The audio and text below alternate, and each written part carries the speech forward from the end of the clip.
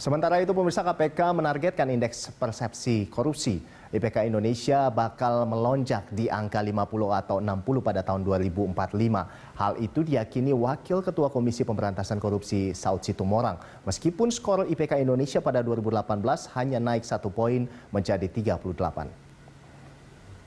Wakil Ketua Komisi Pemberantasan Korupsi Saud Situmorang menegaskan pedang pemberantasan korupsi berada di tangan Presiden Joko Widodo.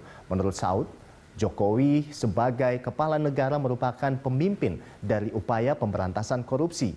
Jika memiliki tekad yang kuat untuk memperbaiki perilaku, Saud meyakini indeks persepsi korupsi Indonesia bakal melonjak di angka 50 atau 60 pada 2045.